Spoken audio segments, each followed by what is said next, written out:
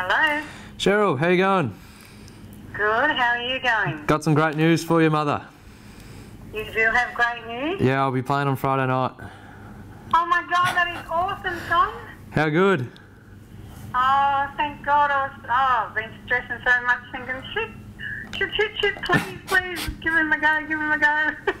You reckon you've been stressing? Oh, get to have a go. That's awesome. Oh my God. So now what happens with us? What? How do we get tickets and? I don't know. I don't know yet. I just got told about 10 seconds ago. Oh, that's all right. That's all. How did you get told? Uh, Pikey had a get, chat to me.